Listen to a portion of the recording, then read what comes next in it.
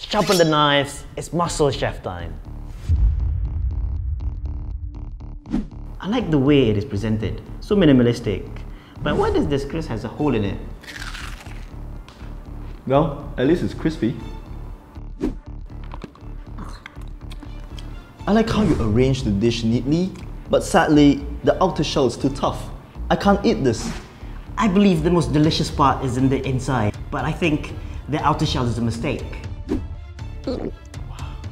It has this smooth texture that just goes down your throat. Brilliant. Absolutely supercalifragilisticexpialidocious. This makes me wet just the right amount. I think we have a clear winner here. Congratulations. Namaste. I'm dead. This is amazing. This is a piece of art. There is order in chaos.